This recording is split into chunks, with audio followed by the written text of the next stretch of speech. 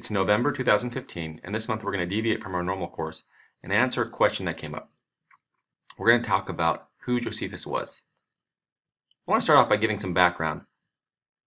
It's important to understand Josephus and his background to understand the Jewish Roman War, which took place over the year 66 to 73 AD. One of the key dates in this occurs in 70 AD, which is when the Romans siege Jerusalem and destroy the temple. So this is a date that we'll often talk about, and it's worth actually just uh, remembering. So 70 AD is when the Romans come, uh, take Jerusalem, and destroy the temple. Now, Josephus was born uh, earlier, uh, actually just a few years after Jesus dies. Um, so he's born into the, the world right around the time of Jesus. He is a priest. He grows up in a priestly family and becomes a Jewish priest. This is important. So when we think about his background, he has a deep knowledge of Jewish history, Jewish theology, the, the Old Testament. Now, during the, this war, the Jewish Roman War, he fights against the Romans. He's a captain of a group of soldiers in Galilee. And in 67 AD, he's taken prisoner. After spending some time in prison, he actually is released and becomes a Roman citizen. He is liked actually by the emperor's family and is, is uh, part of their larger circle actually. Because he's uh, has favor with the Romans, he's asked to be a negotiator in the conflict between the Romans and the Jews.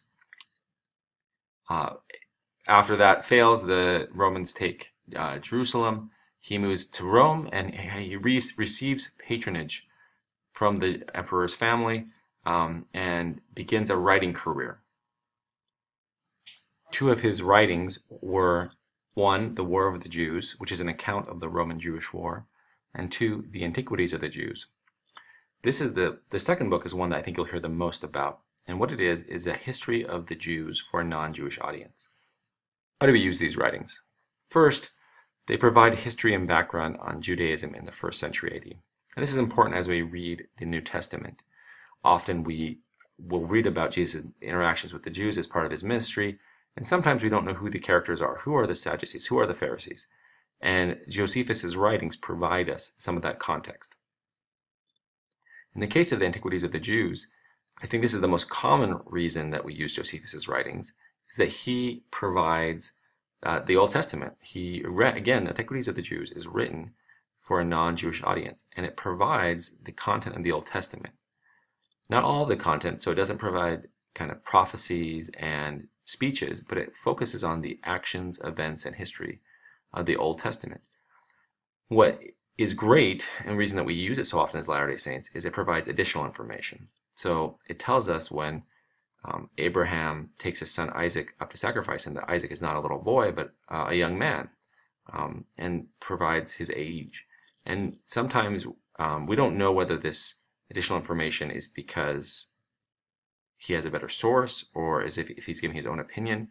Um, but having this additional information, um, and sometimes there's alternative versions too, this enriches our understanding of the Old Testament. It allows us to read these stories and potentially get more out of it than we would otherwise, which is often why when we see, read in the Old Testament student manual or other sources, it frequently cites um, from the content of the Antiquities of the Jews to provide a richer understanding of the content in the Old Testament.